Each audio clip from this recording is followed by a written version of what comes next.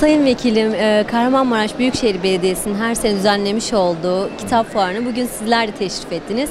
Ve bugün en önemlisi Yedi Güzel Adam'dan biri olan Nuri Pakdil'in imza günü var. Evet. Neler düşünüyorsunuz? Evet.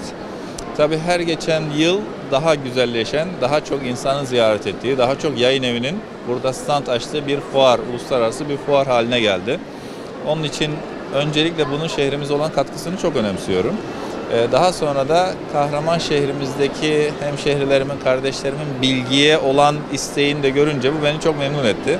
E, Ben de bu fırsatı değerlendireyim, bu keyiften faydalanayım diye bugün eşimle, oğlumla geldim.